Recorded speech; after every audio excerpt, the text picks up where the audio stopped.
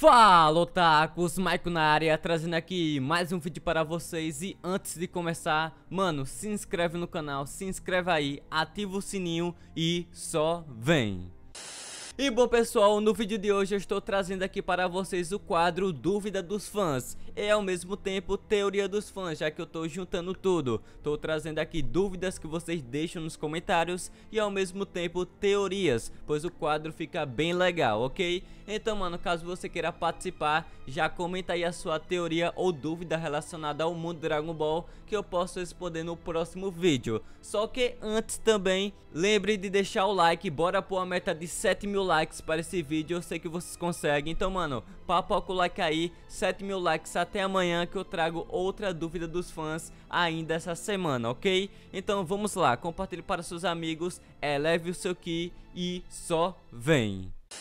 A primeira pergunta de hoje foi do Léo Almeida. Ele perguntou o seguinte: Será que Frost pode ter a transformação Godin do Freeza? Bom, essa de fato é uma teoria muito forte, pois tudo aponta que Frost treinou antes de vir para o Torneio do Poder e pode ser que ele adquira uma transformação similar ou talvez até igual a de Freeza. Pode ser que ele fique verde, é, cinza, sei lá, mano. Mas pode ser que ele seja um pouco diferente da transformação de Freeza. Pode ser que tenha o mesmo mesmo poder, no entanto a cor seja diferente, ou talvez pode ser igual, já que no universo 6 as transformações foram iguais, eles ficaram com os cabelos amarelos assim como os Saiyajins do universo 7, então pode ser que não alterem em nada, ok? Então vamos aqui para a próxima pergunta.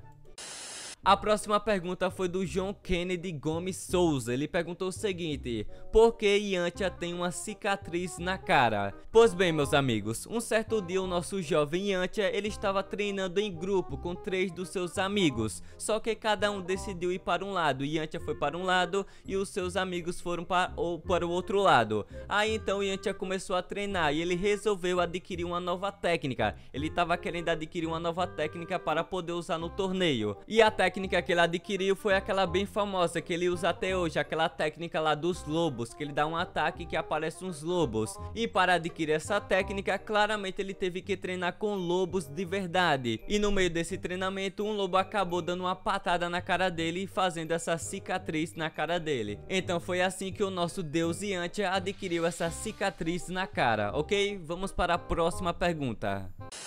A próxima pergunta foi do Malakoff Leon. Ele perguntou o seguinte: Será que depois do torneio Goku vai lutar contra Jiren novamente? Bom, possivelmente sim. Se Jiren sair vivo do torneio do poder e não acontecer nada, com certeza Goku vai lutar contra Jiren novamente. Já que todas as pessoas que Goku lutou uma vez, ele acabou lutando outra vez, como Freeza, Majin Buu, Vegeta, enfim, todos esses caras aí, ok? Então, vamos para a próxima pergunta.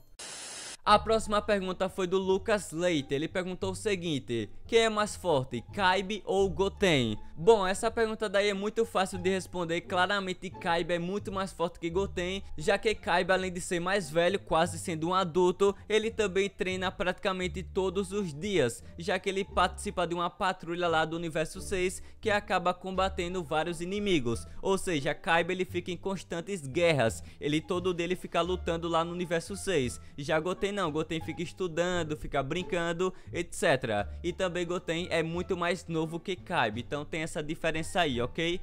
Vamos para a próxima pergunta.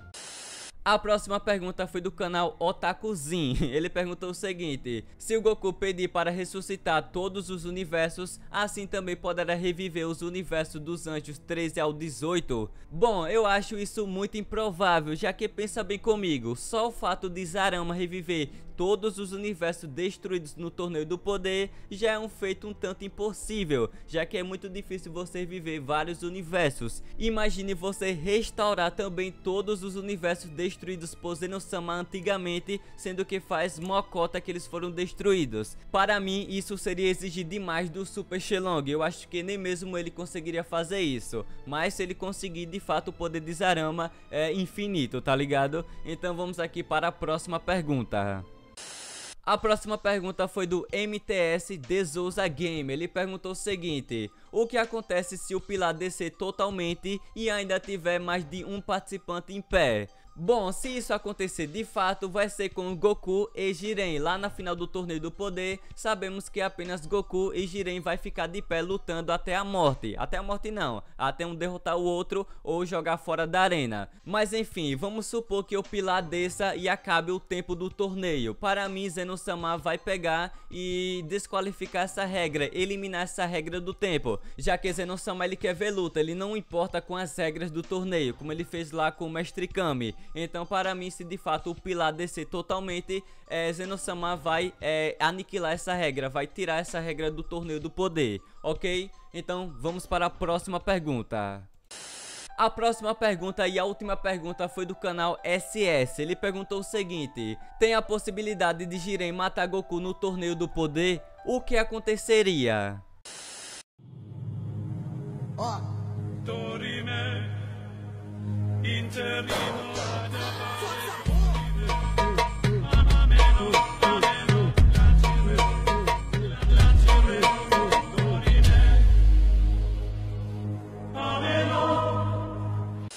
E bom pessoal, esse foi o vídeo de hoje, eu espero que você tenha gostado. Se curtiu, deixa o like aí, se inscreve no canal, ativa o sininho E nos vemos até a próxima. Fui, otakus